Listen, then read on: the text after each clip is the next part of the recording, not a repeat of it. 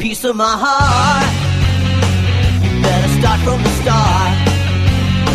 You wanna be in the show.